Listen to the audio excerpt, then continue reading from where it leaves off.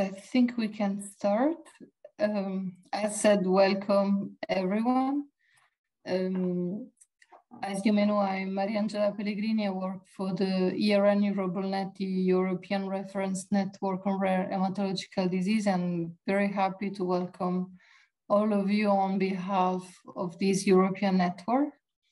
So today we are going to assist to a lecture that is foreseen in a bigger program, a comprehensive cycle of webinar that is named Topic on Focus on Sickle Cell Disease for Patients and Their Family. Uh, today is the third session. And before entering into the session, um, I would like to share with you some home rules. So as you are seeing, this um, session is recorded uh, because we are going to implement the video on our e-learning platform. And uh, also uh, your microphone will be muted along all the presentation. But at the end, uh, we will have a possibility to uh, talk together. So there will be a, a question and answering session. So for um, asking question, please write them in the chat. So you have the cloud symbol in the bottom of your screen. You can address your question there. So uh, we can arrive at today's session. So today we are going to talk about hydroxyurea and fertility. Uh, with us, uh, there will be any need for presentation. we have Professor Mariane de Montalembert from Hôpital Necker in Paris. Um, she, as you know, she specialized in sickle disease, in pediatrics, statistics, ethics.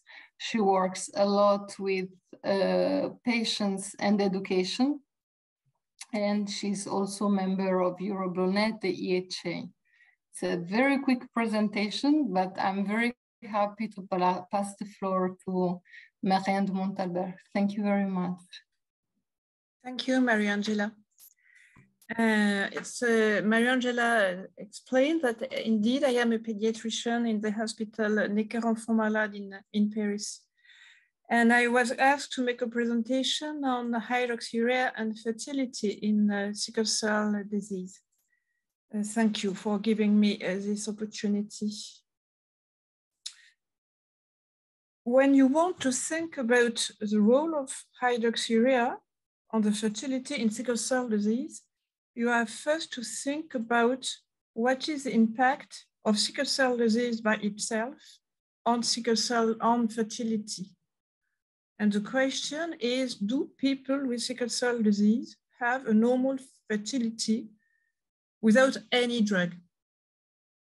And in fact, we know very few things about the fertility in patients with sickle cell disease. And there are very, very few reports and very, very few studies about the fertility of patients with sickle cell disease. And perhaps it was not considered as an active field of investigation because all of us, we know fathers and mothers with sickle cell disease who have had children. And therefore, it was probably estimated that fertility was totally normal. Before beginning this presentation, we have to define what is infertility. And it is defined in terms of a couple. It is not a question of only one individual. And the definition of fertility requires a couple attempting to conceive and failing after the definition requires now 12 months of regular intercourse and when the woman is less than 35 or at least 35 years of age. We are going to begin with fertility in male patients with sickle cell disease. And there are indeed not many publications. And this one was published in 1981, meaning that the patients, of course, were not receiving hydroxyurea because at this period of time, no one was receiving hydroxyurea. And the first observation is that this report shows a decreased fertility in men with sickle cell disease, even not treated by hydroxyurea.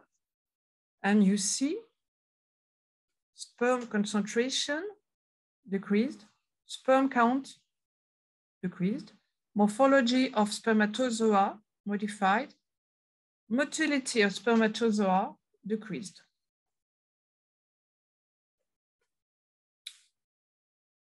Another French report was published in uh, 2008.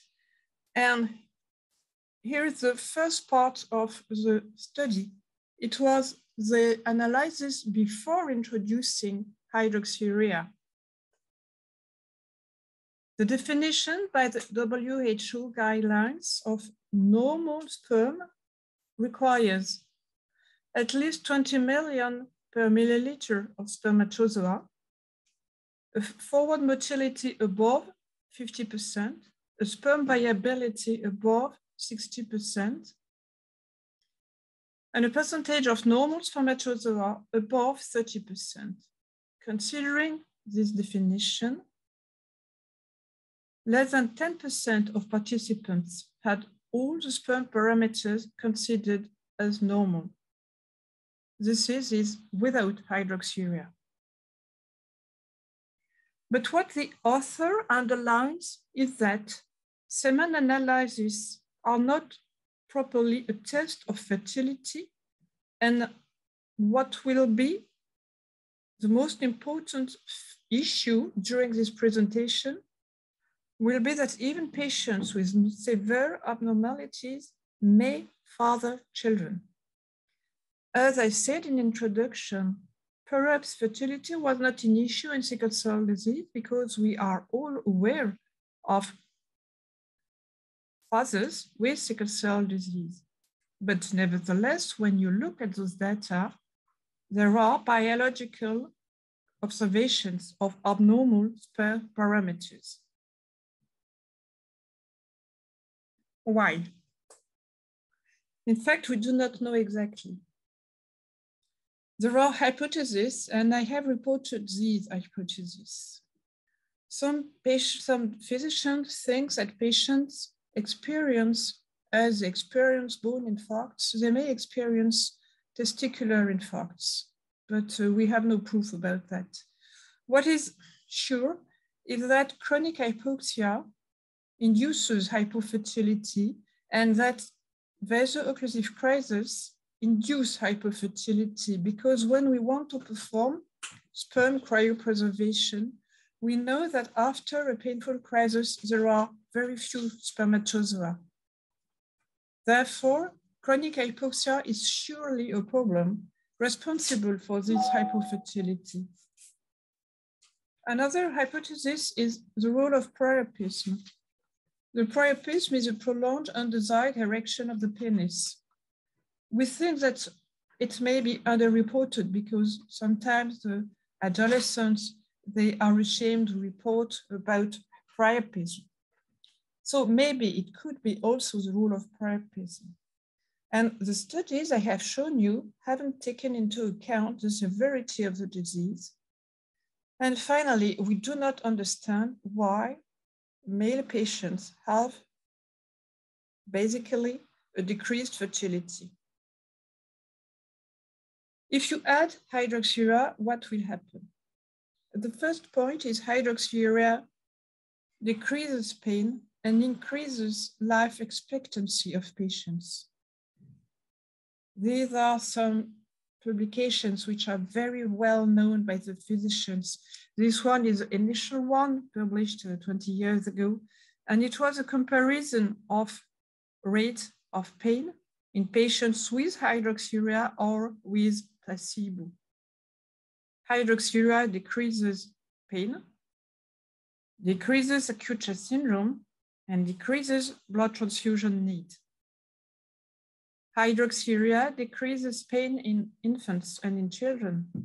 Less pain, less acute chest syndrome, less hospitalization, less transfusion, less dactylitis. These findings are the same in Africa. Hydroxyurea decreases sickle cell related events, malaria, pain, transfusion need, acute chest syndrome rate, death. Hydroxyurea increases life expectancy and decreases pain.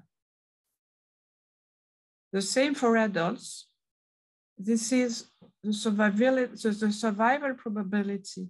It is higher in patients receiving hydroxyurea than in patients not receiving hydroxyurea. What is the impact of hydroxyurea on spermatogenesis, given that it is a chemotherapeutic agent? Some minutes ago, we have seen this part before hydroxyurea, then during hydroxyurea. In the study, you can see that the percentages of abnormality increases. If you consider the volume of ejaculate, 55% of adults had abnormalities before hydroxyurea, it is 50% after hydroxyurea. Vitality, percentage of living, 43, 50. But very low number of patients, we do not know if these patients were very severe or not.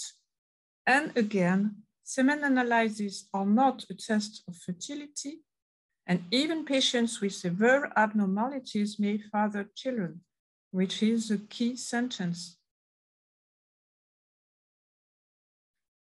Berthaut, she's French, published another series some years after.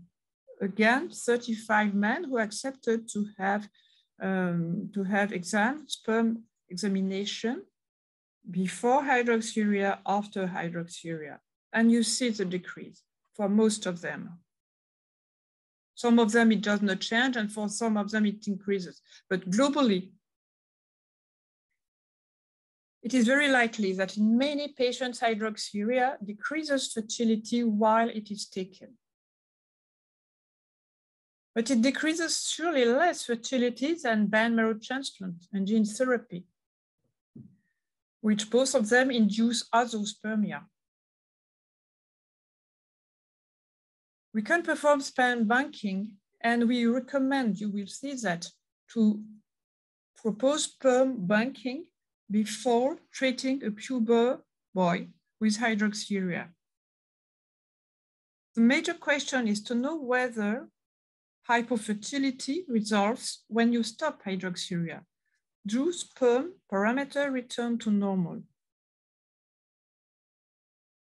It was very difficult to find any papers and in, in fact, perhaps it is too early to have results, but I found only two papers. The first one is this one published in 2007. I will read this last sentence.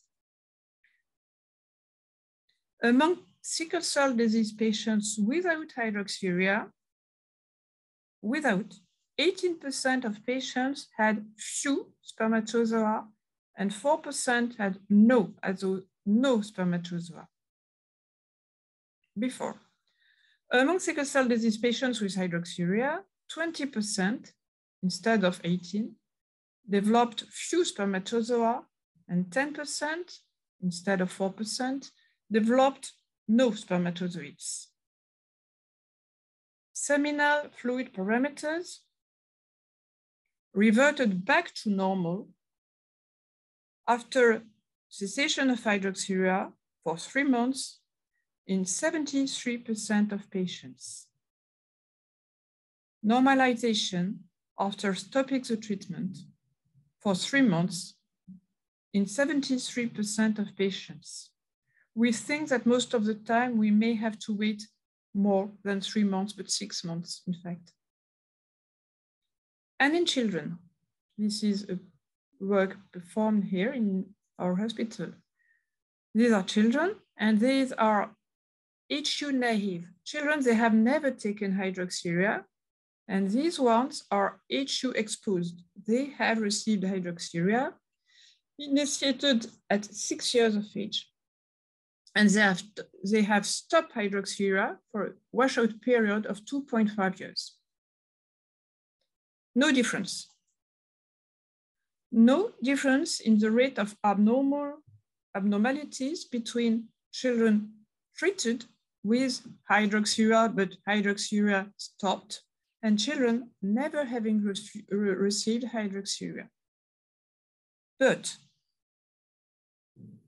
these population are short. There are not so many patients, 20, uh, 15, and they are not really comparable because HU naive children, 52% of them were regularly transfused, and HU exposed children, 100% of them were regularly transfused.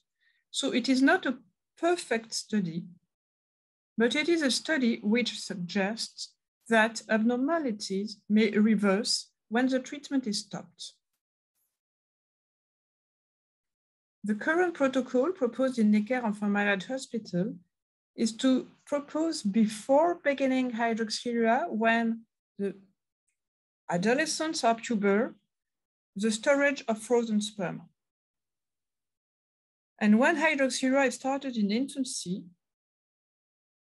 we propose when the adolescents ask for that or the family asks for to stop hydroxyurea. But when we stop hydroxyurea, we know that the patients are going to have painful crisis and we know that painful crisis decrease spermatozoa. Therefore, during the period where hydroxyurea is stopped, we propose monthly transfusion. And we go on with monthly transfusion until the patient has performed a positive sperm banking.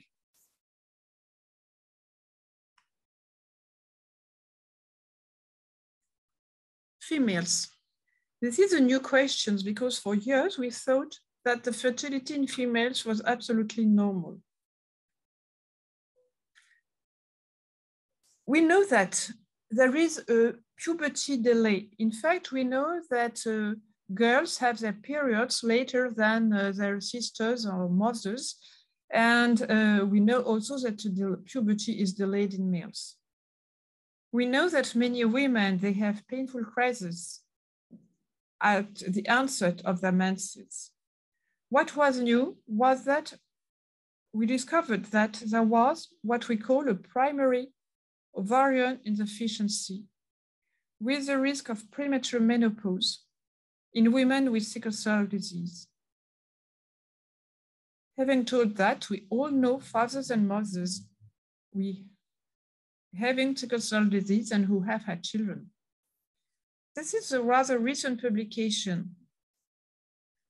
In red, it is sickle cell disease patients. In orange, non-sickle cell disease patients. And these are the levels of anti-Mullerian hormone. Anti-Mullerian hormone is a marker of ovarian function. You see that it is almost as normal in sickle cell disease and non-sickle cell disease, but there are more women with low levels of anti-Mullerian hormone in sickle cell disease.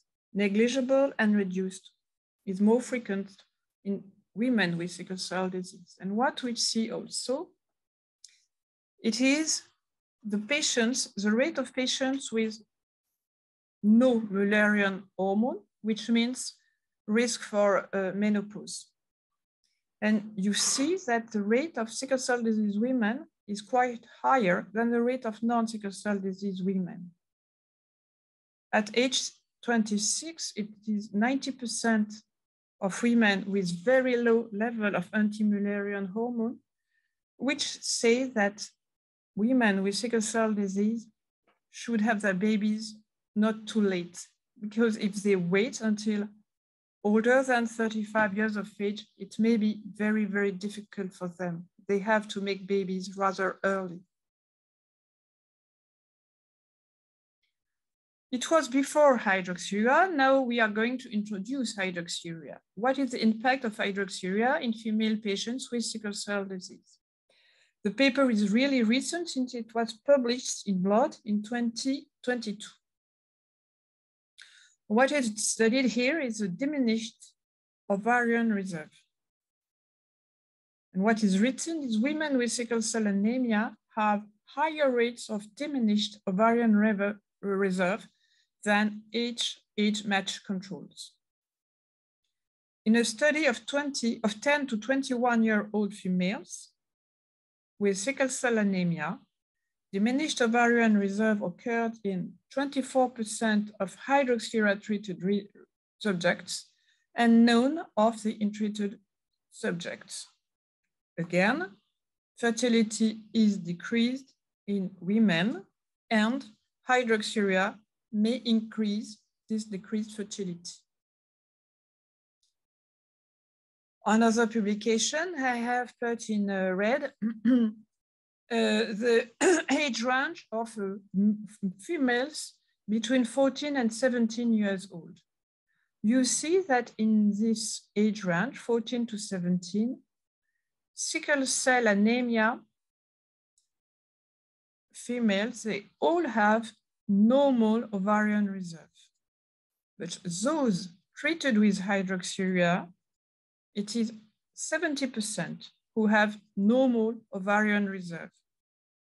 And when you look at the rate of mothers, of uh, sorry, of uh, adolescents, 14 to 17, who have had bone marrow transplants, none have normal ovarian reserve. I do not consider the uh, later uh, category because it was only based on three patients and you cannot have scientific conclusion on only three patients. Uh, as well, there is a question of what is called teratogenicity, which is the risk of having abnormal babies when you are taking a drug no malformation has never been evidenced in babies from mothers treated with hydroxyurea. Nevertheless, there are very uh, cautious recommendations to use effective contraception. If a woman becomes pregnant while taking hydroxyurea, the uh, recommendation by the company are to say that she should be advised of the potential risk to the fetus, but um, in fact, we observed that there is no risk for the fetus. And the recommendation is not to uh, give breastfeeding. We wanted to see in real life with what happens with hydroxyurea in patients with sickle cell disease.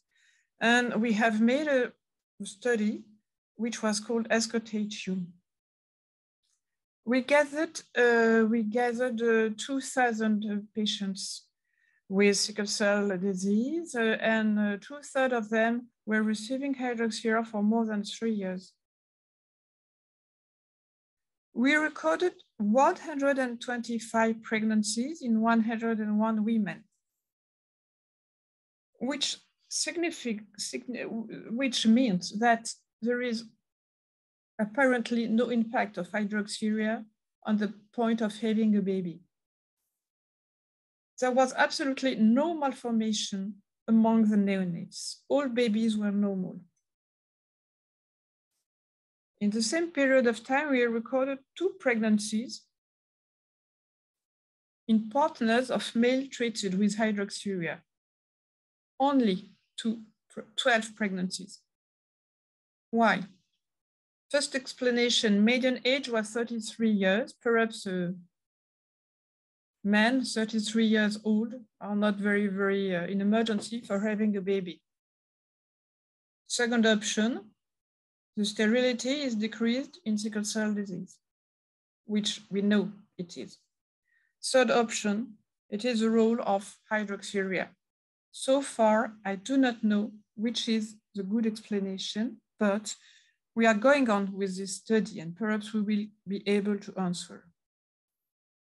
In conclusion, we know that hydroxyurea decreases pain and decreases acute chest syndrome, and hence it increases fertility. But we have observed that hydroxyurea decreases spermatogenesis. We have some preliminary studies suggesting that its effect is reversed when hydroxyurea is stopped. And so far, I cannot tell you anything more about the scientific data about fertility and hydroxyurea? Thank you. I'm ready for the questions. Thank you very much, Professor. And I also encourage the audience to raise questions because as I said, always this is a unique occasion for addressing question to such an expert clinician. And of course, if you don't feel comfortable in writing the question, you can raise your hand and I will give you the possibility to unmute yourself.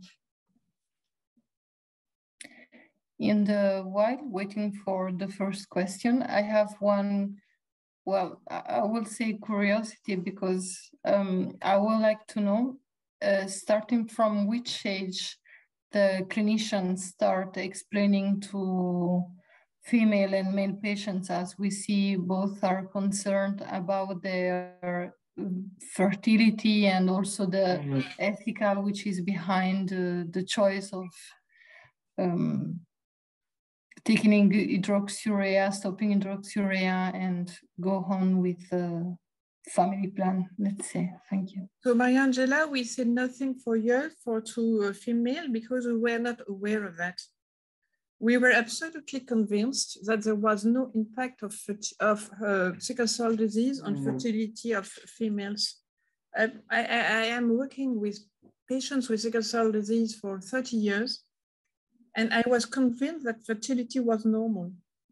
So uh, it was published uh, past year, these, um, so it was really uh, totally unknown and unpredicted that there was an impact of sickle cell disease on fertility of females. So uh, it's very, very new. About male patients, in fact, uh, we have been talking about this problem for many years in, in France and in Europe. But in the States, they do not speak at all about fertility issues because uh, they say there are no reports, there are no publication, and it is simply not explained to families in the States. And past year, I had a friend, she is working in, uh, I don't remember, in Boston, or I don't remember the city in the United States. And she was totally surprised. And she said, but in the United States, no one speaks about this problem to families, never. So this is the question. Thank so you. I have question on the chat. Thanks. Uh, excellent question. Uh, not demonstrated the relationship between dosage of hydroxyurea and the quality. Uh, I think it is really an excellent question, but the point is that there are so few uh, patients in the clinical study. You have seen uh, 30, 20, 25 so that finally they have not enough statistical power to show any relationship between the dosage and uh, the uh, quality of semen. So excellent question, but not enough studies to be able to answer. But very, very, very good question, of course. And thank you. Um, I'm receiving some question privately because participants feel more uh, there is writing privately. So I also um, want to share with the rest of the audience, if you prefer to remain anonymous, you can write to me or to Professor Mariane we will answer your question. So we'll go for the second one. Are they going to be more studies on sickle cell disease patient on hydroxyurea to do with fertility? There seems to be many questions still from what you're saying as sickle cell disease doctor. Yes, I think so, but mainly in Europe because in the States, uh, they, uh, well, how to say that? Uh, in the States, uh, they say we have no studies, we are not going to uh, speak to the families, and they are not going to perform studies. So there are going to be studies, but not so much in the uh, United States, mostly in Europe. Um, Fertility is one thing, but what about, uh, sorry, I, I take your rule.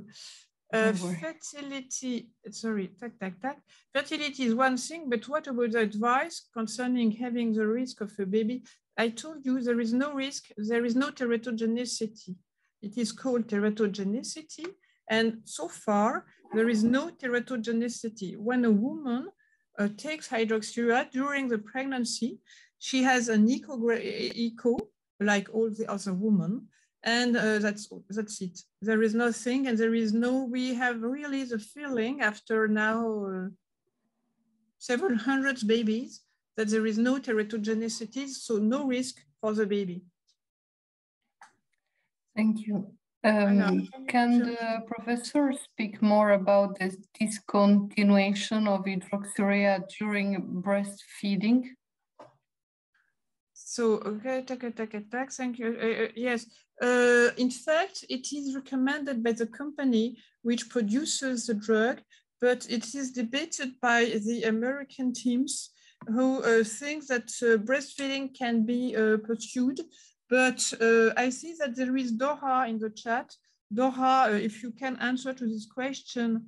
Um, for me, Dora Bachir à tout le monde, Dr. Dora Bachir. For me, uh, it, the, the company says you have to stop breastfeeding, but uh, there are no scientific data to uh, recommend, in fact, this position. So Dora, what, would you add something on this issue? If you have uh, your uh, microphone.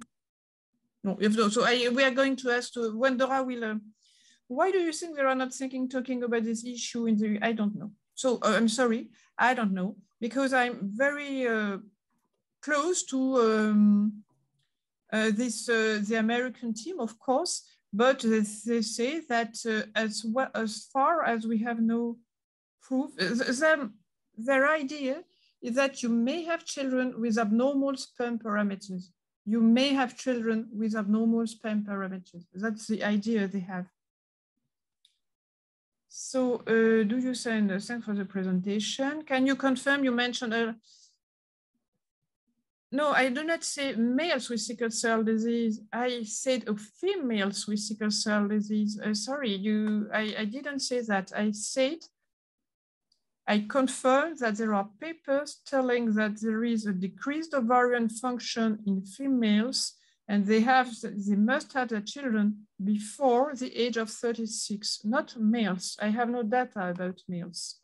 So I do not confirm for males, I confirm for females this publication, and there are several now publications, but it is very, very, very new. Dora, uh, do you think there are not, uh, okay. Protocol in Necker, how, so regarding the protocol in use in Necker, how many patients perform sperm banking before um, minority of them? We propose, but it is a minority who perform sperm banking but it is proposed. How many times the frozen sperm was used, I don't know because I am a pediatrician.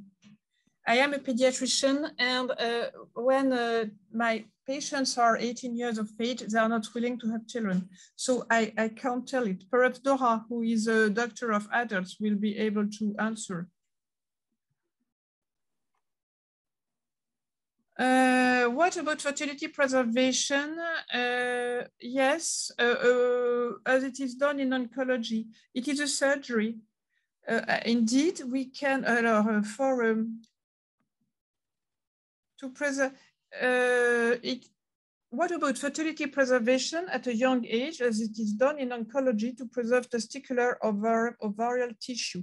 I should say that for ovarian function, it does not need, it does not seem seems needed because in fact, uh, the impact of hydroxyurea on fertility for females, we have shown recently that it exists, but it is not a very strong one. So I would not, my advice would not be to uh, perform uh, ovarian uh, preservation mm. before using hydroxyurea really.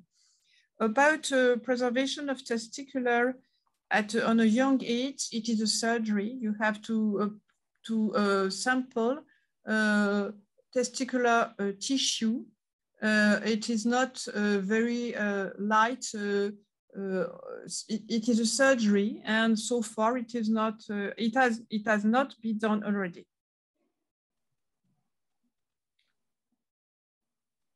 Okay, end of the chat.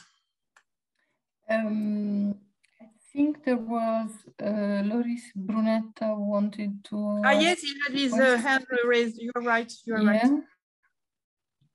And you can unmute in the case you want, you prefer to talk. Okay, okay, thank you. I, am not a thalassemia patient actually, so, but uh, it's a curiosity because I attended the meeting here in Italy, and as far as I know, there is uh, the intention to extend the use of hydroxyurea also in children younger than two years. Uh, so uh, considering the impact that uh, the use of this drug can have on fertility, uh, what do you think? It, it is manageable for, for this kind of uh, children of this age to, to have the uh, safe use of this drug? There is, depends of what you call safety, because uh, life is, um, hydroxyurea increases life expectancy and decreases pain. It is always a debate of the benefit risk ratio. We know that many children they need hydroxyurea just to avoid pain or to avoid chronic organ damage and we know that if we do not treat them, they will have so many complications that it won't be an easy life for them. Yeah, thank you. I, am persuaded. I, I, I, agree definitely. Uh, but, uh, you know, considering the, the population that is going to be involved in the use of hydroxyurea, uh, it is important for the family to be aware of all the possibility that uh, the use of the drug can impact uh, in future on fertility. Of course, it's, I, I, think it's much more important to treat the children uh, for them to be safe and to have uh, a prolonged uh, life expectancy. But I think it's also important to explain correctly to the family and uh, in, in, order for them to understand why you suggest the use of hydroxyurea. That's why we are we have this discussion, of course. But look at this uh, presentation by um, in Africa, which was uh, in Africa, and of course. Fertility is a major issue for many African mothers, but when you look at death, you have the decrease in death rate. And my friend Leon Tshilolo, he says um, he proposed hydroxyurea to all children, all children, whatever the severity of the disease, because he says that he will reduce death rate. And he speaks about fertility. He, he is not a liar, Leon. He tells always the truth.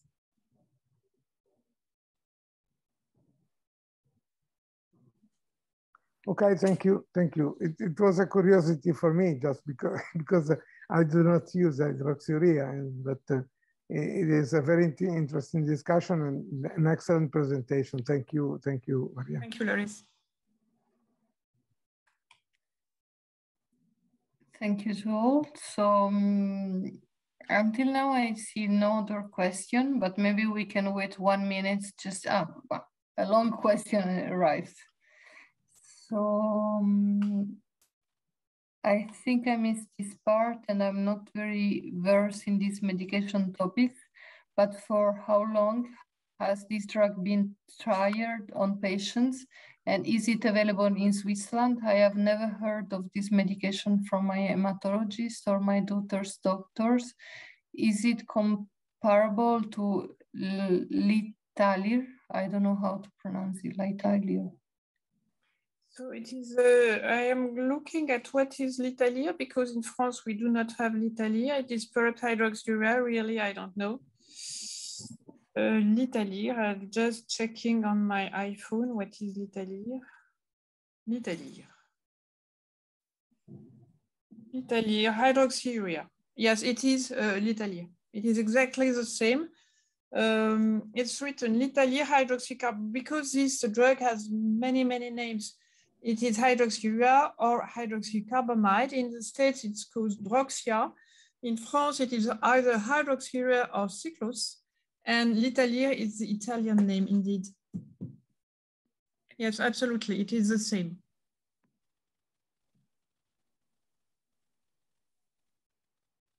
I didn't present the uh, mode of action of hydroxyurea because I was thinking it was not uh, the uh, topic of the presentation. But Litalir is uh, hydroxyurea. Okay. It was uh, used for the first time in 1992. Uh, so it makes 30 years that it is used in patients with sickle cell disease. 30, 30 years. In 1992 in, in Europe or in the USA first? the Europe. first person who used hydroxyurea in, in the world is me. I, I made the first trial in children in 1992 for historical reasons.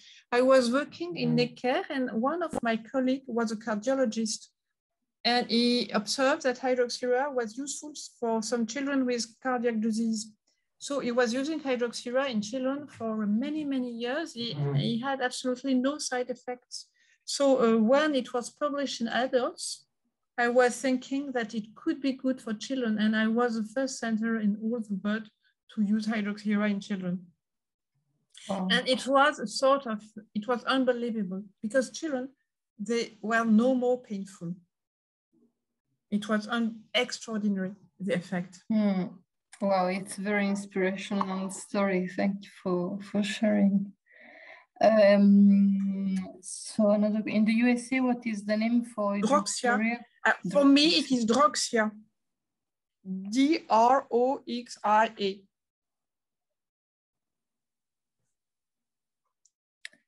Okay, I think we arrived at the end of the.